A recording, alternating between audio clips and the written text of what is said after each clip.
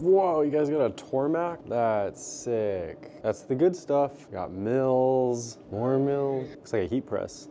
Yeah, that's cool. Yeah, got more machines over there. Check this out. Apparently, at one point, the door switch was broken. To preserve this unlikely state of affairs, avoid closing the door while there's crap stuffed in the hole. So don't close the hole, the door, while there's stuff in the hole. Remember that. You got monitors and computers here. Oh, look, you have your different mill bits.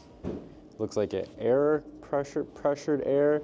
I guess you can't use the DeWalt saw. Look at all of this right here. You got a 240 plug, I think that's what that is. You got outlets galore, bits. These look like, yeah, different washers and different screws galore. If we look over here, check these out, guys.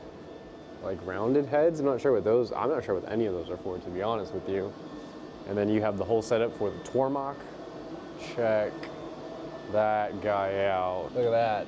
I wonder if someone made that or if it's bought. Check that out. Brent's just dropping stuff. It's another laser machine, another laser machine. You got some cool stuff that people have made. Whoa, check that out. Engraved into the wood. That's awesome. And then cardboard and wood only. I'm guessing this is a scrap pile because that's what that one looks like. These are probably like for testing like testing different depths and stuff, but those look pretty cool. And you have all of this, I guess. You have these laser cutters, which Brent's working on right now. Got a bunch of 240 plugs up there. Nice, and you have some good ventilation right here, which is important. Right there, important. And we'll take a look at the other side in a sec. Just a side note, check out all those network cables just running up through the building. That's a lot of ethernet. Humongous fire extinguisher. Who are you? I'm looking at the Epson with the marker. Help assemble new 3D printers with free pizza. I wanted to have done that. MK4s, I think those are Prusas, right? Yeah. MK4 Prusas. The heck are these things? This is definitely, oh, it's like a Surface Pro Dock that someone made. That's kind of cool. And it's got like IO built in. Do you see that? It's like Oh, like on the side, there's USB-C or USB-A ports. There's uh, Ethernet. That's dope, actually. That's really cool. Little Surface dock. I have no clue what the heck that is. This useless machine. Why make it? Put the parts together according to instructions, becomes a machine. So what it does, it does nothing. Huh. Okay then, what else do we got? Oh, that's really cool. That's laser cut. It's a little marble thing. And it just rolls down, that's cool. We have a Terminator head. That's cool. More 3D printed stuff. That's really cool. That's also really cool. And what else? Oh, look. You have do not use SD card reader broken. So we have a bunch of printers. Oh, this one's printing.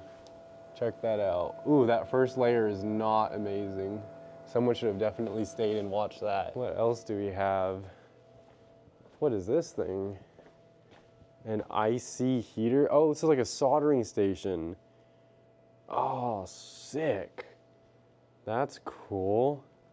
Oh, got a bunch of oscilloscopes from the college days. A bunch of screwdrivers, tools here. Bunch more soldering stuff. This looks like for micro soldering because you have these guys. More bins of just safety glasses and some other stuff. You have like vinyl right here, which is pretty sick. You have sewing stuff. The heck are you? I have no clue what this thing It has a vacuum valve. What is this thing? This machine, ooh, was designed and constructed by makers of this garage. Okay, that's nice. But what the heck are you? The world may never know. And then here we have, oh, it's just a printer. and then this is, this is what she was, that one girl was using, like a heat press. So that's what these are. It's the USS cutter. Apparently she's a hot one. Now we're going to a different Microsoft building. So make sure you stay subscribed to see that one.